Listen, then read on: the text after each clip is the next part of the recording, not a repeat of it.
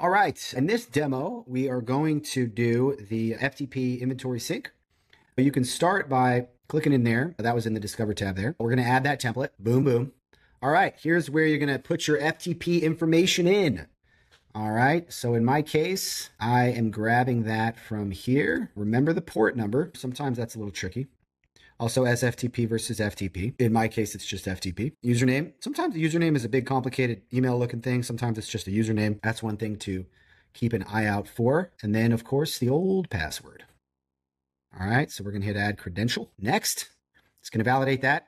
Uh, now we're going to put in the name of the file. And so FileZilla is a free FTP client, can be good to, to use for testing. But in my case, I've got a subdirectory here uh, demo, and then I've got a file name in there. Oh, let me back up real quick. This is the template I'm using to generate this. It's just a Google Sheet, which you can use to generate a CSV file. You can download download as CSV, and uh, you'll notice that this also has some spaces in it in the name, which is fine. Uh, but what you want to do is you want to copy in, and I would just copy these always, because uh, you know that it's working if you're seeing it in FileZilla, and I would just always be sure to copy everything as opposed to typing it in manually.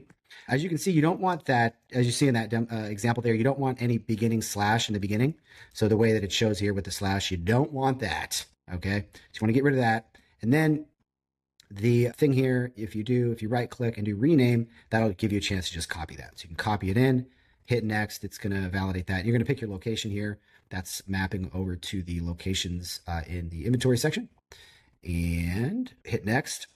And that looks good. So let's run a test first to check it out. Oh, it looks like it didn't save that in there. So you might have to click in that again. And this check for CSV file is, is checking. Ooh, interesting. Interesting. Looks like it didn't work. Okay.